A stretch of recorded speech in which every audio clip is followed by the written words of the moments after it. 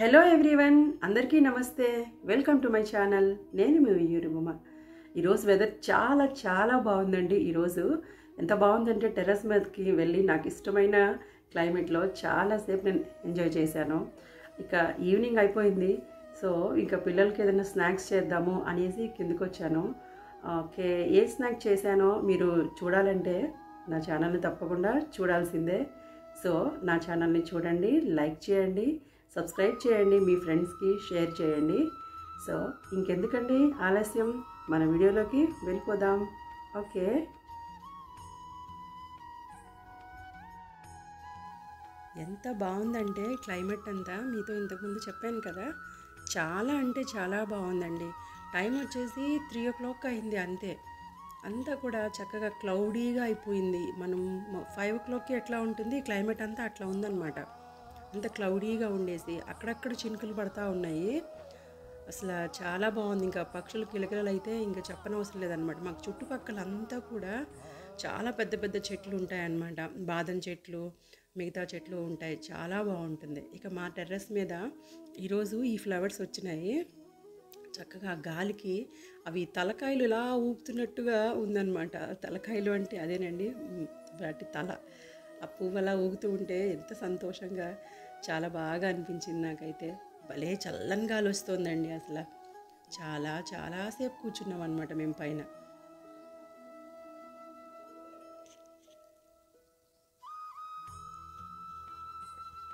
So ఇక late చేయకుండా మనం రెసిపీలోకి వెళ్ళిపోదాం. చాలా ఈజీ రెసిపీ అండి.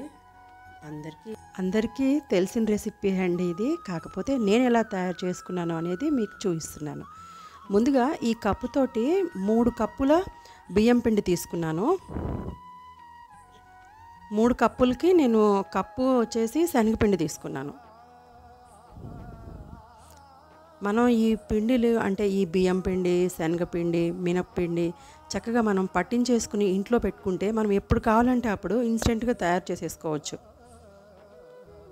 ఇప్పుడు ఇక కారం వేస్తున్నాను. కారం వచ్చేసి రెండు స్పూన్లు వేశాను. ఈ కారం ఉప్పు అనేది మన టేస్ట్ని బట్టి మనం వేసేసుకోవడమేనండి. ఇంతే వేయాలి అనే కొలత అలా ఏం లేదు. ఎక్కువైన వాళ్ళు కొంచెం ఎక్కువ తినేవాళ్ళు ఎక్కువ వేసుకోవచ్చు కొంచెం తక్కువ తినేవాళ్ళు తక్కువ వేసుకోవచ్చు. దీంట్లో మెయిన్ ఇంగ్రీడియంట్ ఏంటి అంటే ఇది అండి మన వాము. ఈ వాము వేయడం వల్ల మనకి టేస్ట్ చాలా బాగుంటుంది. ప్లస్ మనకి కడుపులో కూడా నులి పురుగులు అలాంటివి ఏం రాకుండా ఉంటాయి. చాలా చాలా టేస్టీగా ఉంటుంది అనమాట చాలామంది దీంట్లో వాముకు బదులు నువ్వులు వేసుకుంటారు. తర్వాత చిన్న ఇంకా వేరే జీలకర్ర వేసుకుంటారు. మోస్ట్ ఆఫ్ ద పీపుల్ అయితే మాత్రం వామ్ వేసుకుంటారు. సో నేను కూడా అలాగే వామ్ వేసే చేస్తున్నాను. వామ్ వేసేటప్పుడు కొంచెం అలా కొంచెం అలా చిదిమేసేసినట్టుగా అనుకుని వేసేసుకుని ఇక మనం అప్పుడు మొత్తం ఆ పిండి మొత్తాన్ని కూడా ఒకసారి కలుపుకోవాలన్నమాట. పొడి పిండిలు అన్నీ కూడా కలుపుకోవడం వల్ల ఏంటంటే చక్కగా ప్రాపర్గా మిక్స్ అయిపోతుంది. అప్పుడు మనం ఇక వాటర్ పోసి చక్కగా కలిపేసుకోవచ్చు. చపాతి ముద్దలాగే చేసేసుకోవచ్చు. చాలా గుల్లగా వస్తాయి జంతికలు చాలా టేస్టీగా ఉంటాయి. మనకేంటంటే చిన్న చిన్న పిల్లలు కూడా తిని డైజెస్ట్ చేసుకోగలరు. నేను అంత బాగా చూపిస్తున్నాను ఎందుకు చెప్తున్నాను అంటే మనం శనగపిండి కూడా ఎక్కువ యూస్ చేయట్లేదు దీంట్లో. శనగపిండి శనగపిండి ప్లేస్లో కావాలంటే మనం మినప్పిండి కూడా వేసుకుని చేసుకోవచ్చు. మరోసారి ఆ రెసిపీని చూపిస్తాను మీకు. సో ఇక ఈ పిండిని ఈ చక్రాల గిద్దల్లోకి పెట్టేసుకుని ఒక్కొక్కటిగా ఇంకా వత్తేసుకోవడమే అనమాట చాలా ఈజీ ప్రాసెస్ అండి. ఇవి దగ్గర దగ్గర ఒక టెన్ డేస్ వరకు నిల్వ ఉంటాయి చాలా టేస్టీగా ఉంటాయి. నేను ఇలా ప్లేట్ మీద ఒక్కొక్కటిగా వత్తుకుని వేసుకుంటున్నాను. ఒక హ్యాండ్ కర్చీఫ్ కానీ లేదా ఒక మనం వాడని టవల్ కానీ తీసుకుని అది తడిపి గట్టిగా పిండేసి దాని మీద కూడా వత్తుకుని ఇలా ఆయిల్లో వేసేసుకోవచ్చు. నాకు ఈ టిప్ అనేది మా ఫ్రెండ్ చెప్పిందండి. నేను ఒకసారి మా ఫ్రెండ్ వాళ్ళ ఇంటికి వెళ్ళినప్పుడు తను ఇలా వేస్తుందన్నమాట. ఇంతకు ముందు నేను ఎప్పుడు కూడా ఆయిల్లోనే డైరెక్ట్గా వత్తేసేదాన్ని ఈ చక్రాలని.